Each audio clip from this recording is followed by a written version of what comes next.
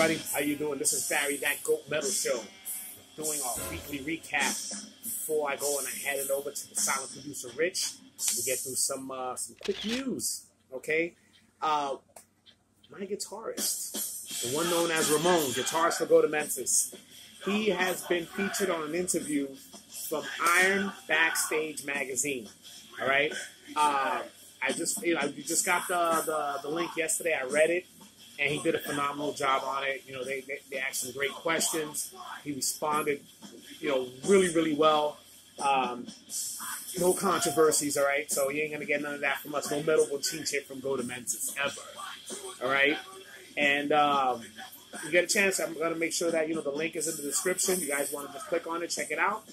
Give it a go, man. Let's give props to Ramon from Go to Menses for a great fucking interview, man. Thanks, brother. All right? And then we just, uh, you know, we today is actually July 6th. It's a Saturday.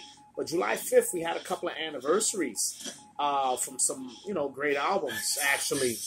We had um, South of Heaven from Slayer. Came out July 5th, 1988, along with Overkill, Under the Influence. You can just imagine it was a metalhead's dream that day, running to the record store and picking up those classic albums. All right?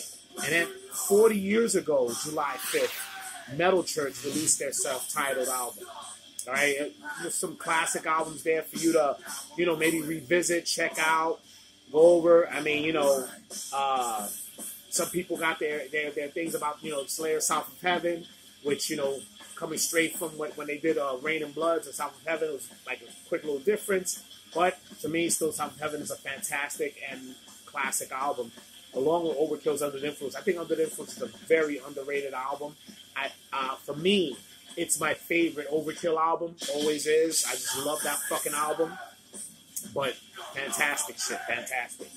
All right, and then along, you know, with, with buying stuff, I got um the Misfits Super Seven vintage uh, reaction figures. All right, I guess these these cool little action figures with um you know the Misfits theme, Glenn Danzig, all these you know, all, everybody from the Misfits and they have them all ready for pre-order. So if you guys are into figures, maybe it's something worth you guys checking out. Okay. Then we're gonna go to one small topic of metal bochinche. All right. Yeah, I know we missed one last week. Sorry, Trevor. It just you know, look, not everything gotta have one bochinche, man. There's sometimes we can have one week without it. Okay. Um, Max Cavalera, he has changed his mind about you know doing a, a Sepultura reunion. He was very animated about before that he would actually do it and so on. And then you know Andreas Kisser was in reverse where he just like he didn't want to do it and so on. Uh, then all of a sudden Andreas Kisser flipped the switch and said he wouldn't mind doing it. Now Max is like, fuck that. I I, I don't know if they're just playing a game. Uh, maybe uh, who knows? Who knows what it is? Uh, or maybe uh, Max maybe might have heard my my uh, my uh, my theory on why they, that he decided to do it. Hmm? You know, just saying. I don't know. That's part of the bonchinche, man. It's theorizing extra bonchinche. All right. But uh, that's pretty much it, guys. I mean, I really don't have that much right now. I want to thank everybody who's been uh, checking out uh, the channel, uh, you know, liking, subscribing, sharing. Uh, you know, I want to thank a lot of the new people that came in. And um, also, you know, just be, be on the lookout. You know, July 20th, Go to Memphis goes live. Uh, we have our first live show. Uh, fortunately, we won't put it live. Once it's recorded, it, we will release it. You guys will all get to see that show, okay? Don't worry about it. But I want to get it over to Rich, the silent producer. Let's see what the hell he got. Take it over, Rich. All right, thanks, Barry. In Philadelphia, this is Hardcore Fest, August 2nd through the 4th will have Black Flag the first four years. 10 seconds, All Out War, Cold as Life, Brat, Demise, Leeway, Negative Approach, Underdog, and many more to be announced. MDF Fest 2025 has announced more bands with Triptykon performing a Celtic Frost set, Atrophy, Excel, Razor, and performing Conquerors of Armageddon in its entirety, plus many more to be announced.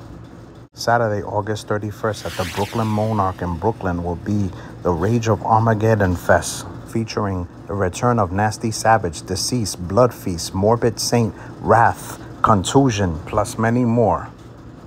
August 30th at TV Eye, The return of Bulldozer live. The Banished by Sin North American Tour featuring Deicide, Krisiun, Cloak, and more September the 10th at the Brooklyn Monarch, New York. In new releases this week, Colorado black metal band Akhlys released their new album, House of Black Geminus. Also out this week, technical brutal death metal band Wormed released their latest album on Season of Mist. Omegon, brutal Spain death metal. New Jersey gore grind band Squelching Flesh released their album Psychic Incarceration. For those of you that are into horror, tune into This Sith Lord is a Metalhead for our latest review on MaXXXine, the third installment into the Ti West trilogy. Please like, subscribe, share, and comment. Don't forget about This Sith Lord's merch on eBay. Support the underground. Thanks for watching and tune in to the next episode of That Goat Metal Show.